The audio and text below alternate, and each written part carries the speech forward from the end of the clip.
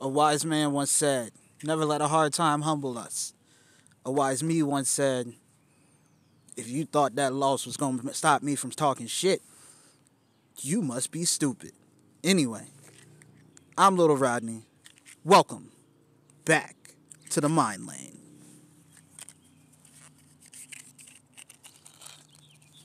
Fuck with little Rodney, fuck, fuck with little Rodney, fuck, fuck with little Rodney, and you Little Rodney.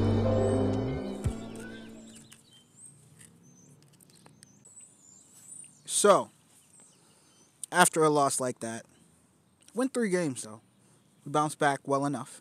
After a loss like that, a lot of people would feel compelled to make excuses. I'm one of those people. Excuse number one Rook wasn't there.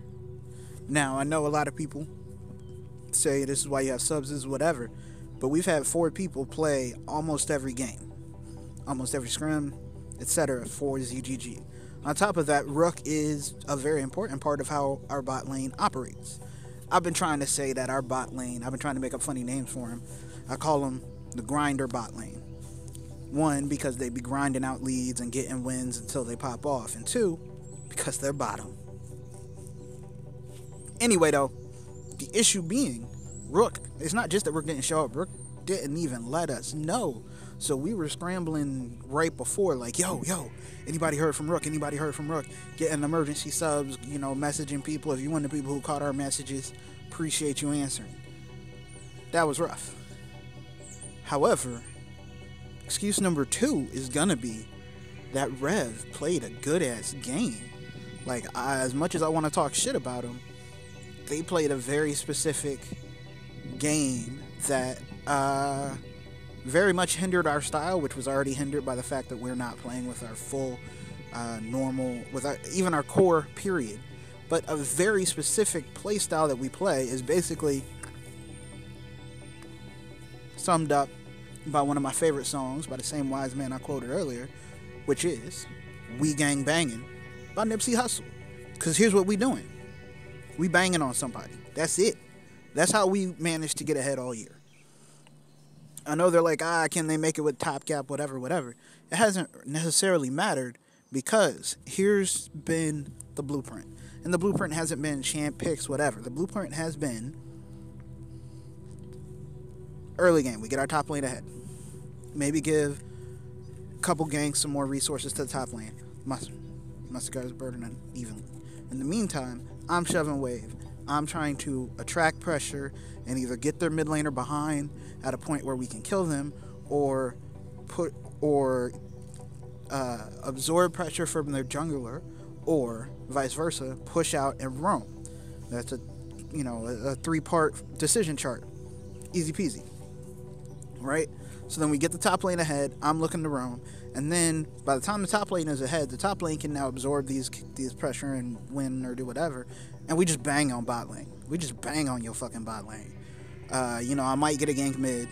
Uh, normally, I don't get a gank mid. Fuck it, they barely even want to give me fucking counter picks.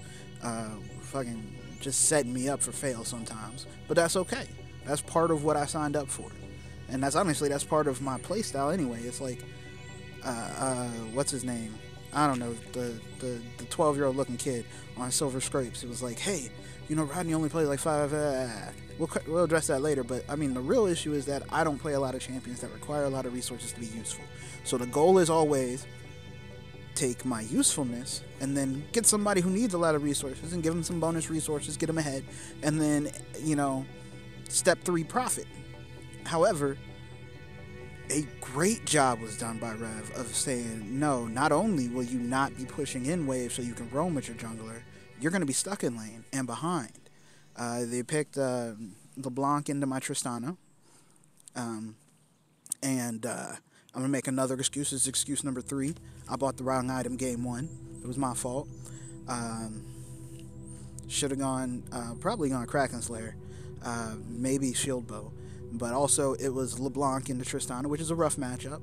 And you know, uh, Skeleton played well. I mean, he missed hella, hella, hella, hella, hella chains, but that's okay because it's 2021. You should not be trying to put chains on the black man. Fuck is wrong with you? But Miss hella held the chains, whatever, whatever. But on top of that, they had the Xin Zhao, which was able to literally make it to where anytime I thought about leaving lane, oh, there's motherfucking Xin Zhao. Anytime I thought about I'm gonna assert pressure, there's motherfucking Xin Zhao. So it was really frustrating, and that's how you should play the game. That's how you should scout your opponents. I mean, I've done nothing but talk shit. I mean, part of part of why I talk shit, and I'm gonna be real here. Part of why the mind lane exists is to draw more attention to mid lane, at least for this split. Because the more I talk shit about how much shit on your, your mid laner, the more your mid laner is probably gonna go, no, don't send anybody. I want to prove I'm better than Rodney. Which means either one or two things is gonna happen. Either I'm gonna push him in, and then I'm gonna just roam, or I'm gonna force them to, to, to give me solo kills. Right? On top of which, if it's the other way, and you're like, we're gonna shut this fucker up. It's the fucking Floyd Mayweather shit, where you're pay, put you're putting resources into stopping me, and I'm playing half defensively anyway. I don't give a shit.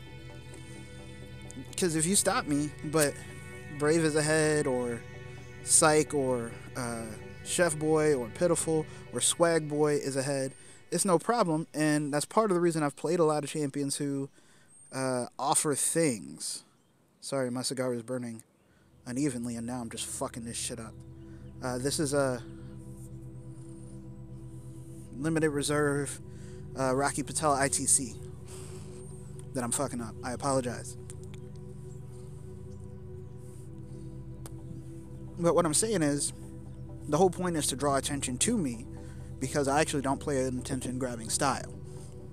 When I bring that attention to me, if your jungler comes, your top laner comes, whatever, every resource you put into me something that's not going somewhere else. And as long as I can absorb that pressure, my team benefits. That's the goal. That's why I run my mouth, really. But if you do a good job of stopping that, your team's going to get ahead. And Rev did a great job stopping that in game one. Um, actually, did a pretty good job stopping it. Job stopping it all week long, or all series long. And and kind of the bigger issue is I had a hard time, and I know this is one of the things Leper talked to me about, talked about me, complimented me on, and I love it because it's actually true. I had a hard time keeping track of where their jungler was.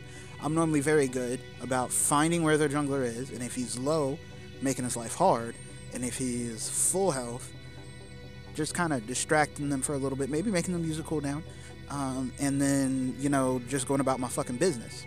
I didn't have that option. They played really well. On top of that, uh, fucking excuse number four, Yone is a bullshit ass champion. If I ever meet the motherfucker who designed Yone, I'm gonna challenge them to a square, fair, unified rules of boxing match, and I'm gonna knock their fucking jaw off. Put that on whatever. Alright, cause fuck that champion. But as I'm scaling up, and I'm like, ah, I'm happy. We're excusing, you know, we're excusing, uh, exchanging farm and what have you. Um, you know, Yone still gets super strong. Yone can't be killed. Yone takes fucking forever to kill. And if you don't kill him in one burst, he's gonna heal up with a built-in death dance because fuck that champion. Well played. All right. So that said, let's go down the CB rookies end of year review. First off, Shout out to Juan Cena, aka Soulcar, for filling in. Super short notice, played two games in the jungle. His Nocturne looked magnificent. I told him, man, they're not gonna let you play Nocturne no more, nowhere. Looked amazing. He came through on the Sejuani, amazing steals. That man stepped up. Second of all, shouts out to Miyuki, came in, played the Yuumi, played well. Uh, honestly, I got shit on that game. We didn't have a lot of pressure anywhere. Um, and if there's not enough pressure and not enough CC for a, for a double ADC comp to kind of get the ADC being off, it doesn't matter how good your Yuumi is. Um, secondly, again, I probably built the wrong thing. I definitely built the wrong thing. I'm not even gonna try and shift that. All right. Shout out to Pitiful, who's played four roles for us. You know, just filled in wherever and did well and bonded with the team. Everybody on CB Rookies has been fantastic this year. Okay, shout out to Swag Money Boy. Was willing to was a is an all star caliber, probably the best IBS jungler, and was willing to play support with his back against the wall to keep his team going. What a, you know, what a champ. Shout outs to Brave,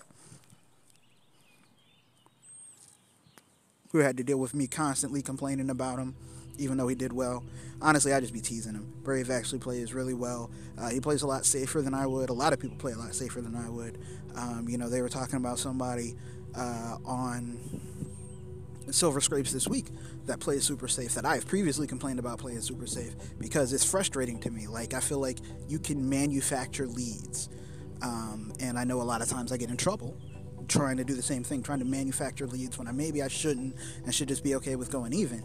But more often than not, I come out ahead or I come out ahead with a benefit for my team. Um, so shout out to you know Brave and Brave was always available to do damage when needed. You know was always available to carry if you gave him the tools needed to carry because playing AD carry is just fucking bullshit. And on that part I get. I wouldn't want to do it no more. Um, whatever. Shout out to Rook, even though he let us down, and though he is a young man, I hope on his deathbed he remembers this shit that he let us down. But shout out to Rook. He played actually played really well. I know that uh, MIT, I think, or whoever was saying that they brought us in for tryouts and you know thought Rook didn't communicate well and yada yada yada. Rook was commu- by the end of this, uh, not even by the end, by week two three. I mean, those of you who have watched our vods know that I will make you talk. Um, in addition to, if you don't talk, I'm gonna force you to make some Rodney ass plays. So if you're not comfortable, just fuck it. We need to be done every game by 22 minutes. We need to speed up the snowball. If you're not comfortable, you will speak up, and now you're communicating. Um, so you know, shout out to Rook coming out of his shell, getting more confident. Shout out to everybody getting more confident, getting better. Shout out to Psych, came in, fucking Grandmaster Smurf head ass motherfucker, came in, played top lane. Obviously played top lane at a level that he's really really good. He might actually be good at League of Legends. We don't even know yet. I don't even know if he knows how good he can be at League of Legends. Uh, even shout out to Chef Boy. Uh, I know we bumped heads a lot, and that's mainly because you be taking shit too seriously, and you need to get some Xannies, my guy. You need to get some Xannies.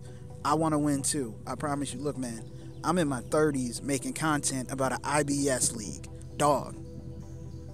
I don't got shit going on but to focus on this and you too focused on it. You know how bad that is when a motherfucker with no life and no future. Well, I mean, I got a nice future. I'm not gonna lie. My retirement looking fat. But when a motherfucker with no life and literally nothing to do but this shit is looking at you like, ugh, you need to, slow down. Like, bruh, just chill, relax, smell the roses. I understand that you, you know, everybody gets off on making their nice outplays and whatever, but bruh, it'll be cool. It'll be cool. It'll be cool. Trust me, you don't need to be 40 with high blood pressure, and when they ask why, it's because you was raging on League of Legends. It's chill. It's chill. So anyway, go to the next chapter. I don't know, but we gonna make more content here. The mind lane's not going nowhere. I'm gonna still tell you who I think ain't as good as me, and who I still don't think is as good as anybody else.